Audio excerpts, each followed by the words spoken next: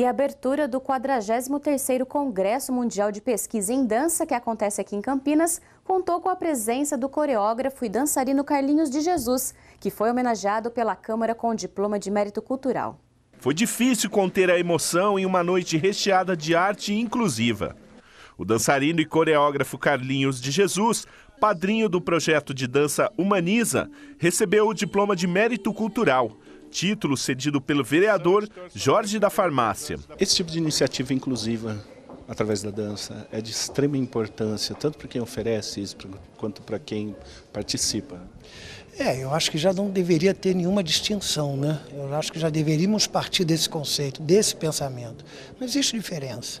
Ou se existe, temos que respeitá-la. As diferenças estão aí, mas não devemos estar é, é, como já é, prevendo ou já antes de qualquer ação, né, considerar essas que, que ah, fulano é diferente, não pode sair. Eu acho que toda atividade tem que ser inclusiva, porque cabe a todos nós participar e fornecer, dar elementos que possamos estar juntos, tanto contribuindo com o nosso trabalho ou até né, nos reciclando com tantos profissionais que têm grande competência no, na, na, área. Então, acho que a dança tem esse, essa, essa, esse fator importante. Eu acho que ela é tão completa nesse sentido que não só a questão física, mas a questão também psicológica, a questão é, é, é, é até, vamos dizer assim, espiritual da pessoa. A pessoa parece, a, passa a ter uma outra visão da vida, uma outra visão. Os conceitos mudam muito e passam a ser mais participativas e solidárias, inclusive. Né?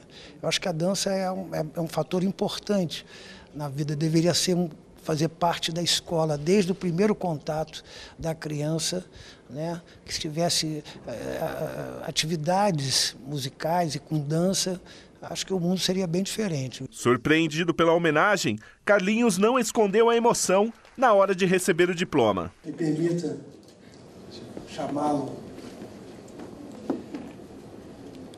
de meu amigo. Certeza. Vi que você é uma figura popular e conhecidíssima na cidade. Lida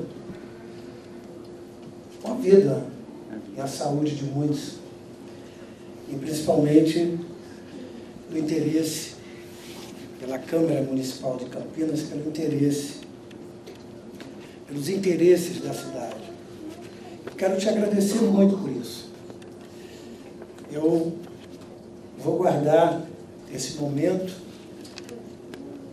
e esse registro com muito carinho, com muito amor um homem abençoado, Carlinho de Jesus, o próprio nome já diz, é um Jesus, é um homem que veio para incentivar esse belíssimo grupo Humaniza, que faz essas belíssimas apresentações, traz os seus familiares, consegue trazer um sorriso dessas crianças que têm esse tipo de deficiência. Isso é gratificante, isso é uma obra divina e Campinas só vem a ganhar com isso. Acho que todos nós, seres humanos, algum tipo de deficiência tem sabe, eu, você, as pessoas que estão aí, mas nós temos que enxergar de uma maneira diferente, uma maneira inclusiva, para que nós consigamos cada vez mais viver harmoniosamente bem, todos juntos, pelo um Brasil melhor, por uma cidade melhor, por uma Campinas melhor, uma Campinas cada vez mais inclusiva.